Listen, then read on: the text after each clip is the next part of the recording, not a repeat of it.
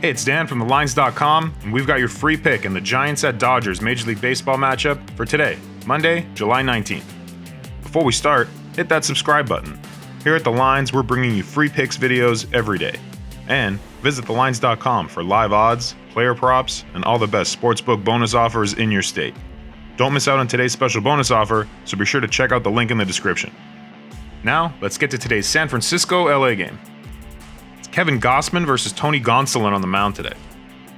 Gausman will take the mound after a particularly long layoff, as he's last pitched July 11th, the last day of the first half of the season. The veteran right hander's first start of the second half had been delayed by bereavement leave, but he returns in time to kick off a critical four game series against the Dodgers, who he's posted a 2.45 ERA and 132 average against over 11 innings this season. Gonsolin has yet to give up more than one earned run in any of his seven trips to the mound, with six of those being starts.